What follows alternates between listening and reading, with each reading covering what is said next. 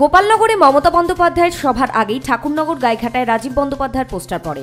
এদিন স্টেশন চত্বর রাস্তায় বনমন্ত্রীর ছবি দেওয়া পোস্টার, ফ্লেক্স দেখতে পাওয়া যায়।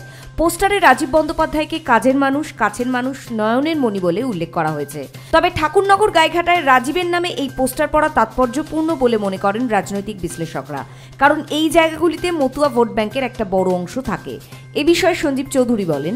কিছুদিন আগে দেখলাম আমাদেরই রাজ্যের এক মন্ত্রী শুভেন্দুবাবু, তার নামেও পোস্টার পড়েছিল আমরা দাদার অনুগামী আর আজকে ঠিক সেইরূপভাবেই আবার দেখলাম আবার পোস্টার।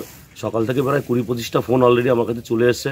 দাদা, আমরা আপনাদের দলে যোগদান করতে চাই। আমিও তাদের সঙ্গে কথা বললাম, কোনো অসুবিধা নেই, আপনারা আসুন, কথা বলুন। তার কারণ তারা সাধারণ কার্যকর্তা, তারা যে কোনো দলে জয়েন করতেই পারে। আর আমরা সাধারণ তাদেরকে অবশ্যই গ্রহণ করব।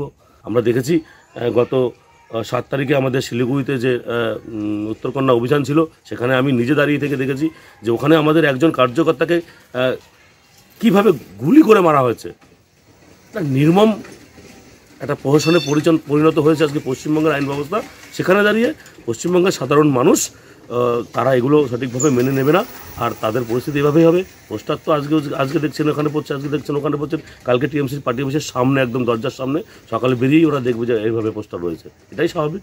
এই প্রথম নয়, এর আগেও গত তিন দিন ধরে রাজ্য তথা কলকাতার বিভিন্ন প্রান্তে রাজীবের নামে পোস্টার পড়ে। Bureau report, Nobel Bangla.